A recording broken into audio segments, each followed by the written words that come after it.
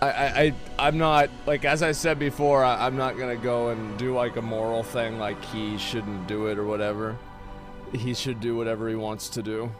If people get mad about it, petition Twitch, not him. If he stops, somebody else will start. Remember whenever people bullied, uh, fucking XQC into stopping gambling, and then Adin Ross showed up and he kept gambling? You know, like, meet the new boss, same as the old boss. It, it's just gonna be the same. It's never gonna be different. Um, there's always gonna be a new person doing this. You don't like it, get mad at the system. You can get mad at the people all you want, but just know that you're shouting into a void. A constantly changing